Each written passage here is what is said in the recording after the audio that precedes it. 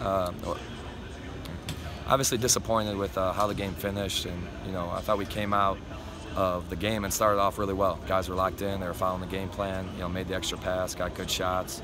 Middle of the first half, we had too many turnovers, let them get back in the game, and then to start the second half, you know, we were up eight and they came out, I don't even know what it was, six or eight nothing run. And that kind of set the tone for the second half a little bit. We got to do a better job coming out of half, so we always talk about that with our guys. And, um, you know, end of game situations, we can't turn the ball over. We had too many turnovers at the end of the game. And defensively, uh, we need to improve. So, um, you know, it, it's a game that we have to learn from and we got to get better from uh, moving forward you get down 10, but you, you take the lead back. Were you encouraged you got them back, or were you encouraged that they, they stepped up and, and didn't, they could have laid down right there, and, and, you guys come back and take the lead uh, with his free throws?